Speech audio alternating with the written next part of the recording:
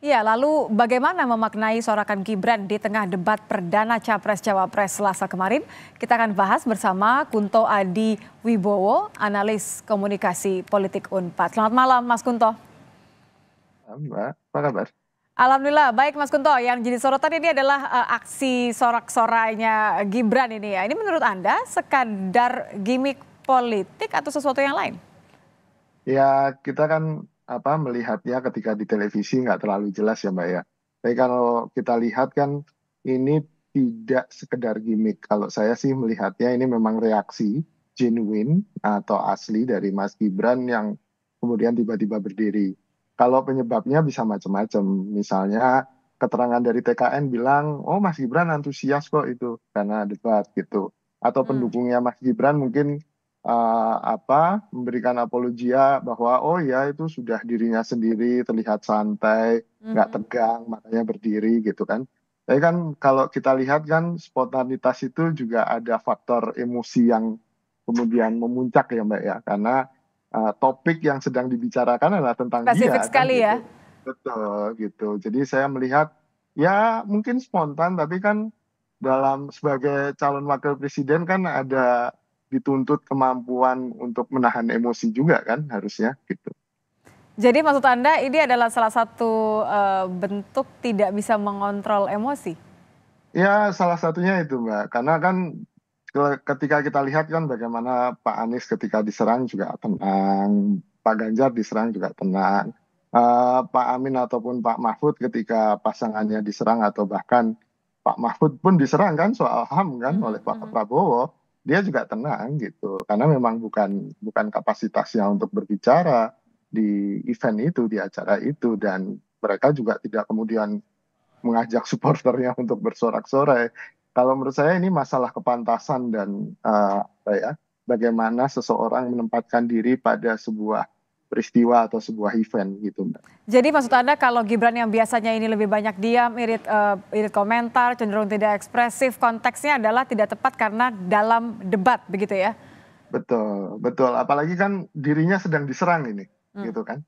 Uh, kalau biasanya dia tidak ekspresif, dia terlihat santai, ya mungkin karena nggak diserang kan gitu. -hmm. Serangannya tidak se sehebat waktu debat ini gitu kan ketika debat mungkin pertama kalinya Gibran merasakan dirinya dipojokkan, nggak bisa ngomong gitu kan, dan akhirnya yang keluar seperti itu, Mbak.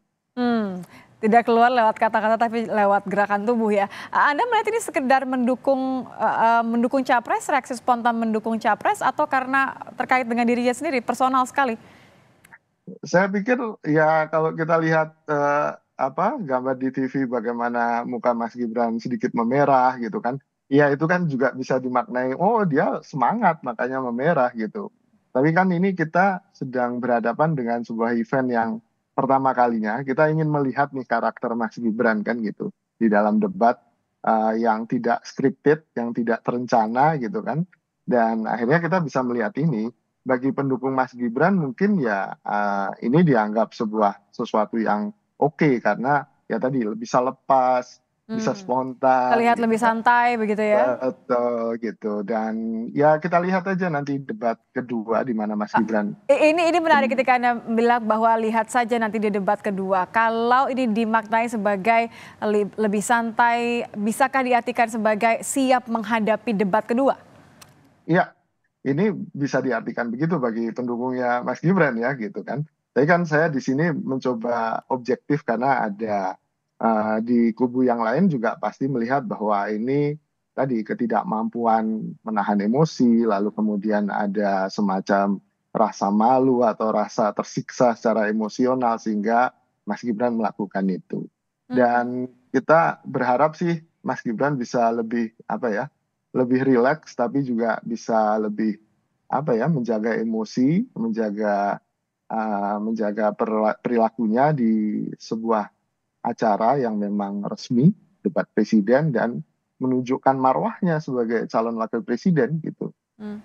Kalau kita lihat ini pas kali ini gambar ya karena ketika uh, sangat ekspresif ini kemudian ada yang mengingatkan dari belakang ya tim betul, sesnya begitu betul, mengingatkan bahwa Uh, diminta untuk untuk duduk gitu pas kali dengan iya. gerakannya. Yeah. Anda melihat tim sesnya ini khawatir akan akan ada evaluasi dari KPU atau atau bagaimana, Mas Kunto? Iya, iya betul. Kalau kalaupun saya di situ, saya pasti akan mengingatkan Mas Gibran karena uh, perilaku yang sedemikian rupa tidak tidak apa ya, tidak cocok, tidak sesuai dengan apa yang kita imajinasikan sebagai calon wakil presiden yang tadi punya kewibawaan, punya marwah itu Mbak.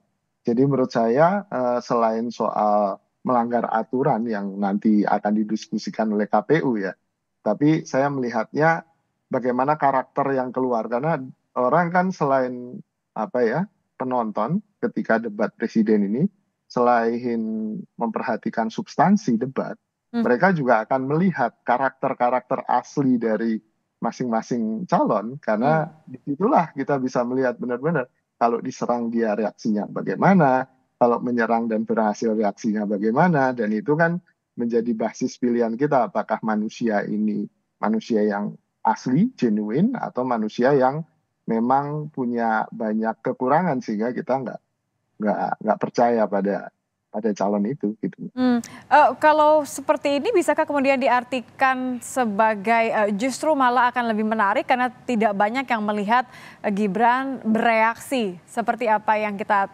tampilkan uh, disaksikan bersama-sama di televisi begitu. Kalau konteksnya dilihat sebagai representasi anak muda, dilihat sebagai dukungan terhadap uh, capresnya, dilihat sebagai sisi yang berbeda, Anda melihat ini justru akan dimaknai seperti apa oleh para pendukungnya ya terutama? Ya, ya. Kalau oleh para pendukungnya jelas ada confirmation bias ya Mbak ya. Bias konfirmasi di mana apa pun yang dilakukan Gibran, terutama yang di luar kebiasaan, itu pasti akan melampaui ekspektasi mereka. Dan sesuatu yang melampaui ekspektasi dan positif, pasti akan punya kesan yang positif dan semakin meneguhkan keyakinan mereka untuk memilih Mas Gibran gitu. Hmm. Di lain sisi kan ada pemilih yang mengambang nih. Sebenarnya ya, debat ini kan voters, ya. betul. Uh, debat ini tujuannya kan ingin merengkuh mereka gitu kan. Nah ini yang yang kemudian apalagi media sosial pasca debat itu juga ramai komentar tentang apa yang dilakukan Mas Gibran itu cukup ramai dan sentimen negatifnya lebih banyak daripada sentimen positif gitu mbak. Uh, sebenarnya seperti apa sih kalau dia lagi-lagi dianggap Gibran ini sebagai perwakilan dari milenial, sebagai uh, perwakilan anak muda, uh, undecided voters ini seperti, sepertinya menurut anda ingin melihat seorang calon yang bersikap seperti apa, Mas Kunto? Kalau ini kan ada ya. debat kedua, ketiga, keempat, dan kelima ini Betul. seperti apa yang diharapkan kira-kira? Kalau menurut saya yang dicari yang pertama tentu substansi, yang kedua tentu pembawaan atau karakter yang sesuai gitu dengan harapan pemilih gitu.